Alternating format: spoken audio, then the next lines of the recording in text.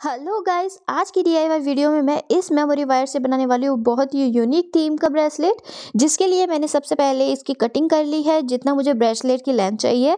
उसके बाद मैंने इसको कॉर्नर से कर्व करके इसमें फोर एम के ग्लास बीट इंसर्ट कर दिए हैं। बेसिकली जो मैं ये बनाने वाली हूँ, बहुत ही कलरफुल सा होने वाला है, क्योंकि मैंने इसमें dark green parrot red black white ये सारे ही कलर यूज़ किए हैं।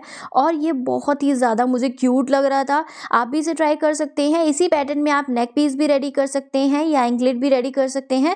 इस तरीके के बीट्स के जो ब्रेसलेट बने होते हैं ना, ये बहुत ही अमेजिंग लगते हैं। इस तरीके का कुछ मैंने पैटर्न क्रिएट किया, फिर मैं इसको रिपीट करती गई।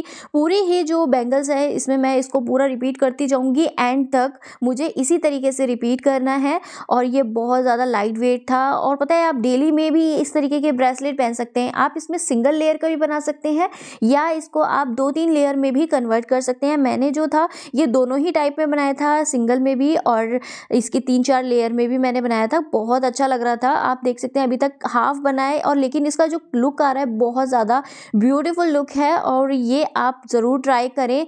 इस तरीके के और भी बीट्स कलरफुल आप यूज़ कर सकते हैं अलग अलग पैटर्न बना सकते हैं, जितना सिंपल है ये उतना ही ज़्यादा यूनिक लग रहा है। कॉर्नर से मैंने इसके सेकेंड कॉर्नर को भी कर्व कर दिया है, इस तरीके का इसका जो पैटर्न है रेडी हुआ है। अब मुझे कॉर्नर से ना थोड़ा खाली सा लग रहा था, मैंने सोचा इसमें कुछ और हैंग कर देते हैं, जिसके लिए मैंने एक जंपरिंग लिया है। जिसमें कि मैंने ब्लैक एंड रेड बीड्स को इंसर्ट किया है देन इसके कॉर्नर पे जो कर्व किया हुआ था स्पेस वहाँ पर मैंने इस जंपरिंग को हैंग कर दिया है।